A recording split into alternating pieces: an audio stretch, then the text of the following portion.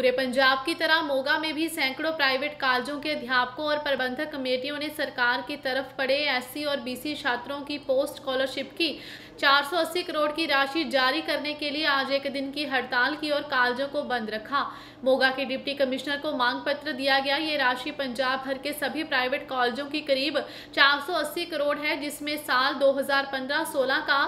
सत्तर प्रतिशत और साल 2014-15 का 20 प्रतिशत है। सरकार द्वारा चलाई जा रही एससी और बीसी छात्रों की पोस्ट स्कॉलरशिप का बकाया जो अभी तक सरकार ने नहीं दिया जबकि ये राशि जबकि ये राशि केंद्र सरकार की ओर से जारी हो चुकी है कॉलेजों की प्रबंधक कमेटियों ने मांग की है कि अगर सरकार ने 22 अक्टूबर तक हमारा बकाया जारी नहीं किया तो संघर्ष और तेज किया जाएगा ਅੱਜ ਜਿਹੜਾ ਮੈਮੋਰੈਂਡਮ ਦਿੱਤਾ ਜੀ ਅਸੀਂ ਪੂਰੇ ਪੰਜਾਬ ਸਾਰੇ ਡਿਪਟੀ ਕਮਿਸ਼ਨਰ ਨੂੰ ਮੈਮੋਰੈਂਡਮ ਦੇ ਰਹੇ ਹਾਂ ਜਿੰਨੇ ਪ੍ਰਾਈਵੇਟ ਅਨਐਡਡ ਕਾਲਜ ਆ ਚਾਹੇ ਇੰਜੀਨੀਅਰਿੰਗ ਕਾਲਜ ਆ ਨਰਸਿੰਗ ਕਾਲਜ ਆ ਫਾਰਮੇਸੀ ਕਾਲਜ ਆ ਬੀਐਡ ਕਾਲਜ ਆ ਆਈਟੀਆਈ ਆ ਪੋਲੀਟੈਕਨਿਕ ਆ ਸਾਰੇ ਹੀ ਪੰਜਾਬ ਸਰਕਾਰ ਤੋਂ ਐਸਸੀ ਸਕਾਲਰਸ਼ਿਪ ਨਾ ਮਿਲਣ ਕਰਕੇ ਸਫਰ ਕਰ ਰਹੇ ਆ ਸੈਂਟਰ ਤੋਂ ਸਾਡੇ ਪੈਸੇ ਜਿਹੜੇ ਰਿਲੀਜ਼ ਹੋ ਗਏ ਆ, ਪੰਜਾਬ ਸਰਕਾਰ ਵੱਲ ਤਕਰੀਬਨ 480 ਕਰੋੜ ਰੁਪਏ ਜਿਹੜਾ ਬਕਾਇਆ ਵਾ,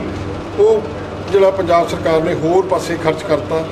ਐਸਸੀ ਬੱਚਿਆਂ ਦੇ ਫਾਇਦੇ ਨਾ ਆਉਣ ਕਰਕੇ ਸਾਡੇ ਜਿਹੜੇ ਸਟਾਫ ਨੂੰ ਤਨਖਾਹ ਨਹੀਂ ਦਿੱਤੀ ਜਾ ਰਹੀ।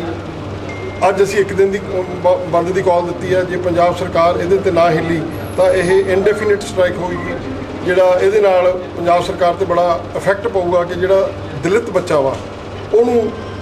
ਜਿਹੜਾ ਪੜ੍ਹਾਈ ਤੋਂ ਅੱਖੋਂ ਪਰਖੋਂ ਕਰ ਰਿਹਾ ये, अ, सर पेमेंट सेंट्रल गवर्नमेंट की तरफ से रिलीज नहीं हुई या पंजाब गवर्नमेंट की तरफ से ये तो सरकार बताएगी ना ये सरकार ने किसकी तरफ से नहीं रिलीज हुई ये तो गवर्नमेंट ऑफ ये जो पंजाब है वो बताएंगे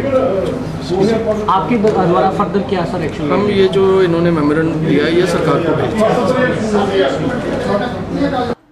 मोगा से जा जाटीवी न्यूज़ के लिए जोगेंद्र सिंह की रिपोर्ट।